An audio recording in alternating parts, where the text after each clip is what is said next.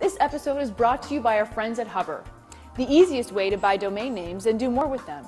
Get 25% off today by visiting hover.com slash missdownload.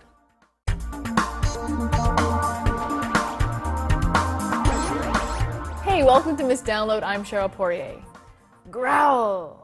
No, I'm not warming up for the Broadway revival of Cats. Growl is a handy little notification program for Windows and Mac users. It's full functioning for Mac users, but it's in the beta stage for Windows. For PC users, because it's in the beta stage, you have to download plugins for specific applications, then run the application like iTunes, then link Growl with that application. Now, don't worry, it's not as complicated as it sounds. It's just an extra step. The list is a little light right now for PCs, but if you're really jazzed about Growl and you want to use it in its full-on form, go buy a Mac. But don't tell Andy from Lab Rats that I said that, please. So basically, Growl lets you know when things have happened on your computer. Like a friend comes online, a download finishes, an email drops in your inbox, things like that. You can choose how you want to be notified and what to do with that notification. When you first install the program, it will walk you through some settings. Now, under this, under the General Settings tab is where you pick your notification sound and whether you want the program to start up automatically when you log in. The display, it lets you choose where the notification will be and what it looks like. Mine is in the upper right-hand corner. It doesn't overlap with my Skinny Tunes player. Network actually allows you to send and receive notifications from other computers on your network, which is kind of cool. So when you ask your husband, hey honey, did you get that email my mother sent us? He can't say no because you know he was notified when it came in.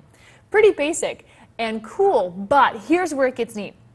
And applications is that's where you can customize Growl notifications for specific apps. So click on the name on the left-hand side of the panel and the list of notification and type will appear in the center, which is great.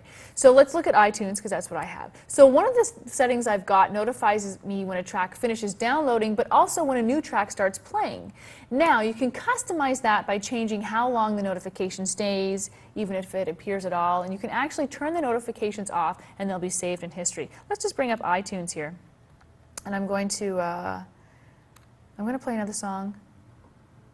You should hear it. Oh wait, yeah. Let me just hit play.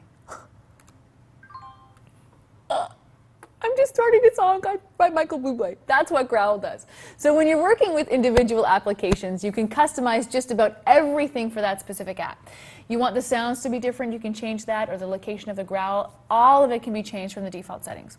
So a handy little program if you're one of those people who sit at a computer all day without moving or working until your eyes bug out and you miss all the day's emails, friend conversations, and tweets.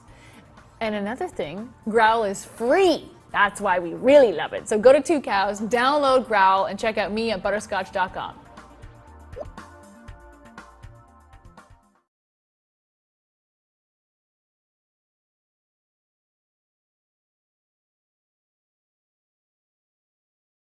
This episode is brought to you by our friends at Hover, the easiest way to buy domain names and do more with them. Get 25% off today by visiting hover.com slash missdownload.